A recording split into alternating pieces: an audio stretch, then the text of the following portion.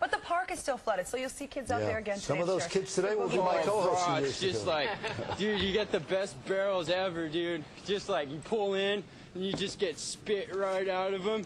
And you just drop in and just smack the lip, whoop, ah, drop down, snap, ah! and then after that, you just drop in, just ride the barrel and get pitted, so pitted like that. Well, actually, you know what? I